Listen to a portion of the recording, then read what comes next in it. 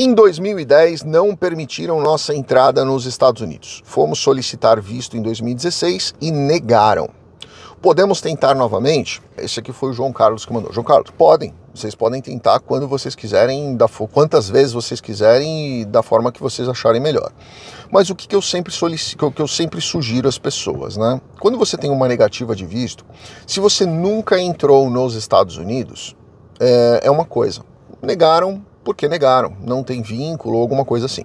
Mas se você já teve uma viagem para os Estados Unidos, onde foi impedida a sua entrada, ou foi garantida a sua entrada e depois é, não foi renovado o seu visto, pode ser que tenha alguma coisa aí no seu, no seu background, aí na sua ficha, e pode ser que isso vai impedir, não agora, mas agora e sempre, a emissão de visto.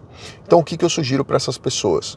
Se você já tem alguma passagem pelos Estados Unidos ou foi impedida sua entrada e houve uma negativa de visto na sequência, é, peçam FOIA, tá? Peça, dá uma olhada, vê se não tem alguma coisa mais séria ali, porque senão você vai ficar tentando, tentando, tentando, tentando 10, 20 vezes e você vai gastar muito mais com taxas e com, com, com preenchimentos e tempo e tudo mais do que você gastaria com FOIA. Então, às vezes, vale a pena você tentar descobrir se tem alguma coisa. Se não tiver, ótimo, pode aplicar quantas vezes você quiser. Se tiver alguma coisa, o advogado já vai fazer um waiver, um waiver para você e aí você tenta resolver essa questão, resolvida a questão, aí você aplica de novo para o seu visto de turismo, certo? É isso, grande abraço a todos todos, fiquem com Deus. Deixa aqui embaixo o que, que vocês acham de cada uma dessas, dessas respostas que eu dei a essas perguntas, se vocês concordam, se vocês discordam, uh, principalmente com essa questão aí de, de custo de vida nos Estados Unidos. Se você está em outro estado, puder comentar aqui, ajuda bastante as pessoas. Elas sempre querem saber quanto custa, quanto vale, quanto eh, elas gastariam se elas fossem morar num determinado estado ou outro. Isso sempre ajuda bastante e eu agradeço bastante a vocês.